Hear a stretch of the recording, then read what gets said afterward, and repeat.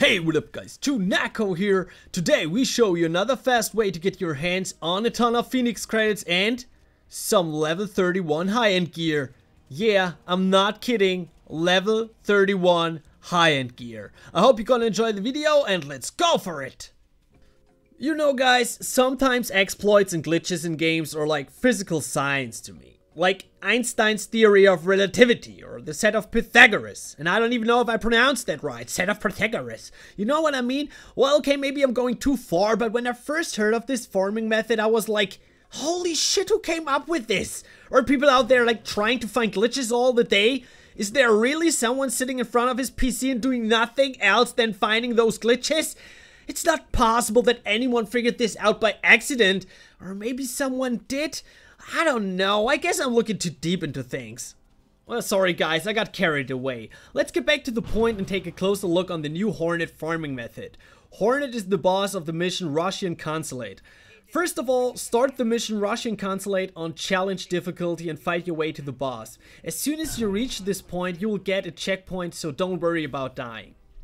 As soon as you reach the checkpoint, kill the first wave of adds and have your friends fast travel to either the firewall safe house or the mission general assembly. But have one person stay in the mission to trigger the boss spawn.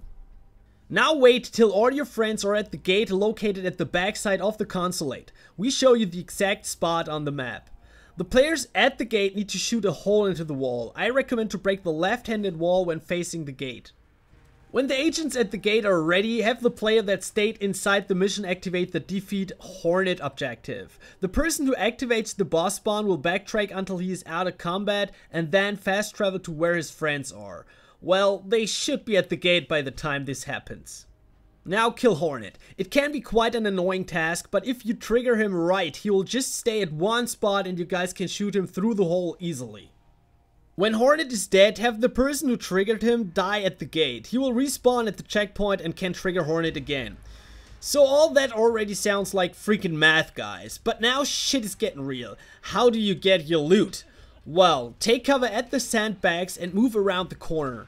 When the animation is almost over, hit the jump button to glitch through the gate. That's how you get in and out. I think when you look at the video, you know what I mean. Well, all that sounds fucking complicated, and it's probably the trickiest exploit the Division has seen so far. But it's actually not that hard. What do you guys think of the Hornet farm? Please let us know in the comments below. Well, that's it for today, guys. Thanks a lot for watching, and as always, like if you like, dislike if you don't like the shit, and feel free to subscribe to our channel for more awesome The Division and gaming stuff. See you next time.